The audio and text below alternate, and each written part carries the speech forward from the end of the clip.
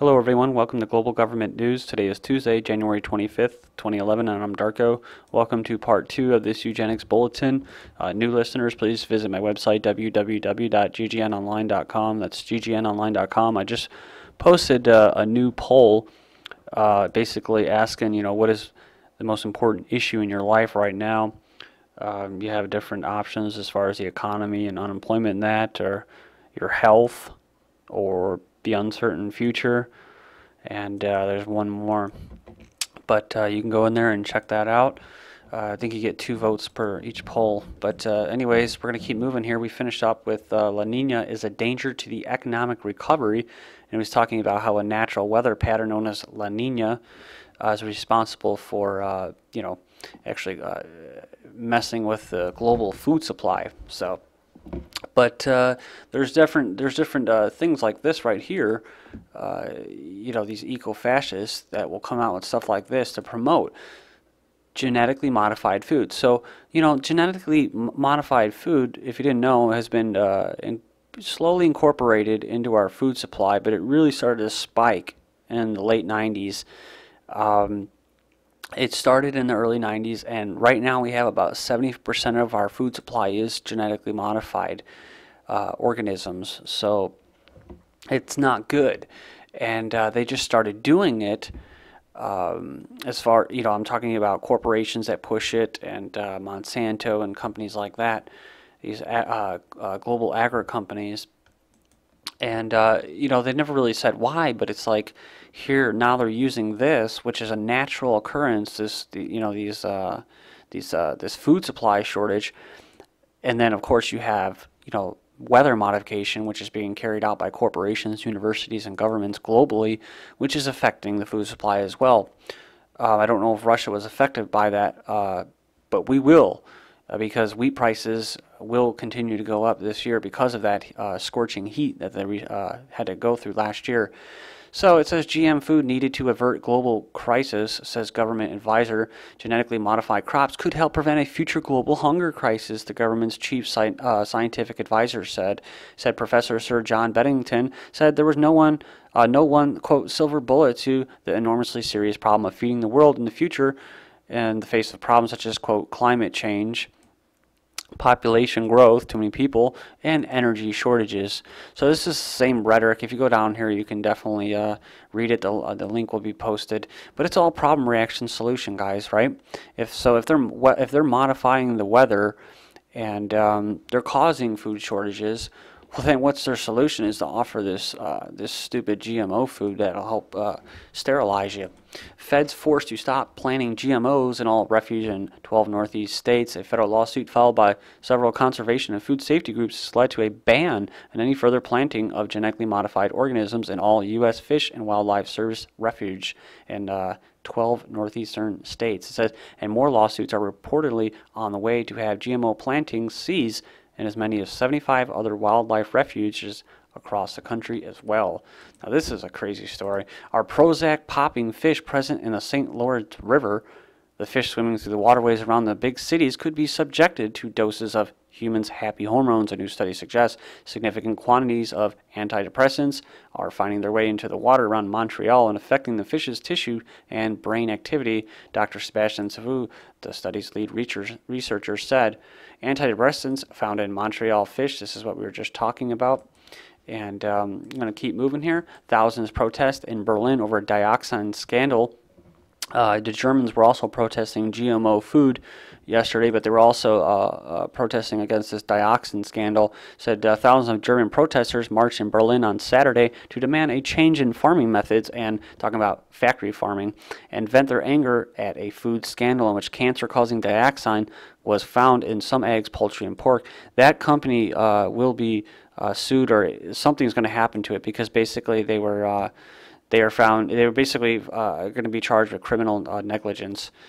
So uh, says U.S. government launches pharmaceutical division. The U.S. government has decided to enter the pharmaceutical business. Apparently, the drug companies aren't coming up with breakthrough drugs quickly enough. Now, the government plans to spend taxpayer dollars conducting research on drugs, which will be turned over to big pharma. So, wow, that's about as corporatist you, as you can get.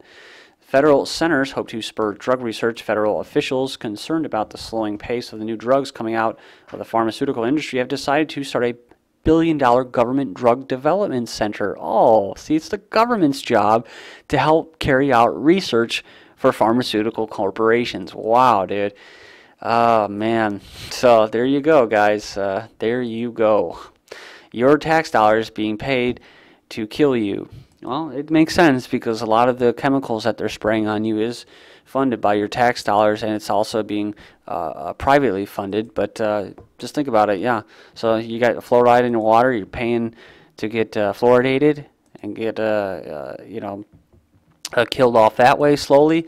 And then they're spraying you in the skies with the chemtrails. And like I said, all those nanoparticles and all those chemicals are being par partially funded by you. So. Uh, finally, chopped powder, alternate nostrils, say taxpayer funded user guide to drugs. Taxpayers are funding a guide to snorting cocaine and other party drugs under the guise of AIDS prevention, right? That's how they uh, promote all the uh, uh Planned Parenthood and uh, condoms and, and uh, the pills and abortions and all that, right? To avoid HIV and uh, it says a four page booklet titled Routes of Administration details ways to protect the nose when snorting powered drugs using common house and office utensils. So we're talking about eugenics. Let's talk about vaccinations, right? Because those according to Bill Gates, are the best way to help solve the problem of overpopulation. So says Feds checking post vaccine seizures in young kids. Government officials are investigating an apparent increase in fever related seizures in young children after they got a flu shot. The U.S. Uh, FDA on Thursday said there have been 36 confirmed reports of seizures this flu season in children ages 6 through uh, 6 months through 2 years. The seizures occurred within one day after they were vaccinated with Fluzone, the only flu shot recommended in the United States for infants and very young children. Tens or 10 of the children were hospitalized, but all recovered. So, oh, the FDA has said it's investigating to see if there's any connection between the vaccine and the seizures or if something else caused the convulsions. The agency said recommendations for using the vaccine have not changed, nor have there been any change in flu vaccine guidance. Why? Of course not, because the FDA is the head of the eugenics, like the World Death Organization or the WHO. That's their job. Save the Children launches massive vaccination campaign. See? There you go. The Save the Children on Monday launched its biggest ever campaign to prevent the needless deaths of 1 uh, million children in developing world from both pneumonia and diarrhea. The No Child Born to Die campaign says that 7 million more children could be saved through simple changes to boost rural healthcare in poor countries. Oh, so check this out. The No Child Born to Die campaign hopes G8 countries will pledge the money at a special G8 conference in a few months' time to be held in the UK. Okay, the next article is uh, EU agency reviews Sanofi's Multaq backs Jevtana. EU regulator start review of Multaq amid liver concerns, says product information should advise close monitoring, and Sanofi's prostate cancer drug wins EU backing. Says uh, the European Medicines Agency said on Friday was starting a review of the safety of Sanofi's Aventis heart drug Multaq after two cases of liver failure in patients on the drug. And next up, Cancer Vaccine Acceleration Fund provides 450,000 to uh, for clinical grade. What is that? Hiltonol in trials. So, so I heard about an AIDS vaccine. Um, I've read about a cocaine vaccine, an alcoholic vaccine. So there's going to be vaccines for everything. And right now they're voluntarily voluntary, but the problem is is that there could be uh, uh, legislation in the future that will make it mandatory, uh, just as mandatory as it is to go to school. You have to get your vaccinations uh, to go to work, you're going to have to get your vaccinations just to get a job. It says here, girl 12 at risk of rickets because mom smothered her with factor 50. Said uh, living by the beach is one of the sunniest parts of the country. Lisa Attrell made sure her daughter wore plenty of uh, high factor sunscreen when she played outside, but her good intentions left 12 year old Tyler suffering from a vitamin deficiency linked to bone disease and rickets. The factor 50 sunscreen deprived her, oh, look at this, of essential vitamin D, which is produced by the body as a reaction to sunlight to the skin. So, next up, drug use for male pattern baldness makes men impotent, grows boobs.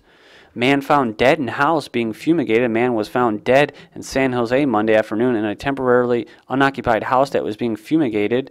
And uh, well, what were they? Uh, what were they using? It was sodium fluoride. Next up, it's official. College students learn next to nothing. It says here a new study suggests not hardly if the goal of earning a four-year college degree is to actually learn something. The report, based on a book academically adrift, limited learning on college campuses, found that after two years of college, 45% of students learn little to nothing. After four years, 36% of students learned almost nothing. And uh, so there you go. Oh, so look at this depression on the rise in U.S. colleges. Maybe they're depressed because they're not learning anything and they're paying a lot of money. A new research shows that severe mental illness is now more common among college students in the United States than it was a decade ago. Teachers blame for record number of children being prescribed chemical kosh. Teachers have been blamed for the record number of children prescribed uh, drugs such as Ritalin. There are now 650,000 8 to 13 year olds on drugs or its equivalents. This marks an astonishing rise up from 92,097. Wow. And just 9,000 in 1990, according to NH figures. Wow, dude. Oh man, that is a wicked number. Study reveals top 10 violence inducing prescription drugs. And then you have Pristiq, an antidepressant that affects serotonin and uh, associated with violence. And then you have Effexor, and this is with vi uh, violence as well. And uh, venlafaxine, uh, fluvoxamine, uh, Luvox, uh, Halcion, uh, or uh, triazolam. Then you have Strattera or atomoxetine, uh, mefloquine, Alerium, I think that's a pretty popular one. Amphetamines, this general class of ADHD drug, is 9.6 times more likely to be associated with violence than other drugs. And Paxil, Paxil is 10 times more likely to be associated with violence than any other drug. And uh, Prozac, a popular antidepressant, is 10.9 times more likely to be associated with violence than other drugs. And then Chantix, an anti-smoking drug is associated with. And I covered this already, but might as well. Chained teens images shock Dutch. Images of mentally youth uh, chained to a wall have shocked the people in the Netherlands with the government defending the physical restraint. So see, the government is all for it. See, that's the future, guys. That is the future. Oh, you're talking about conspiracy theories. You're anti-government. Ooh, you have a. They just uh, put that in the psycho in the psychiatric diagnostic manual. You're you have anti-authority disorder. Mm, you, we better lock you up and throw away the key and get you on some drugs. Florida kids ticked off by shift to less supervision, more computer time. So there you go. See, I told you, it has nothing to do with learning. It's about indoctrination, indoctrinating and teaching them to uh, respect authority, to not be individuals or leaders. New York City school chancellor's solution to overcrowding birth control. I'm not kidding. Women should be able to take abortion drugs at home. Women uh, could be given the right to have abortions at home after campaigners mounted a legal challenge against 40 year old laws. Pennsylvania doc's abortions left us sterile near death. Doctor charged with killing seven babies born alive and with dead uh, death of 41 year old refugee. And you can go through here and read the article. It talks about him storing it in with uh, storing the little body parts for the babies and with uh, uh, staff lunches in the refrigerator. But just a horrible story. And then it basically says, oh, you know, poor old girl. She tried. She was just trying to find a place to go, or she couldn't get haggled by people that didn't like people who killed babies. Those damn uh, pro-lifers. Abortion clinic patients report brutal treatment. Uh, next up is midwives struggle to deliver home births. Women's rights in Eastern Europe have been put into the spotlight as Hungarian midwives faces five years in prison for assisting home births. And in India, they were saying that they needed them. Surrogacy, the brave new world of making babies. Um, it's uh, a new phenomenon. UK court let surrogate mother keep her baby.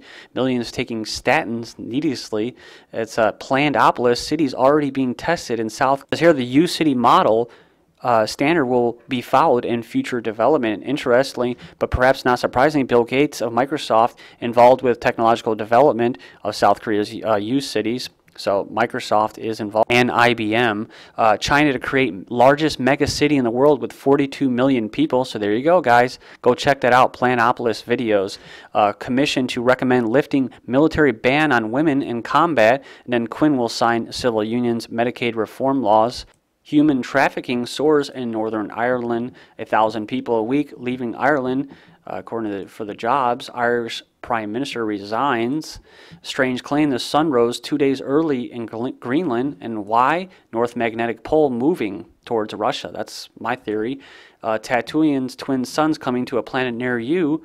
And then check this out. NASA telescope finds planets thrive around twin stars. This is GGN and I'm Darko. Thank you.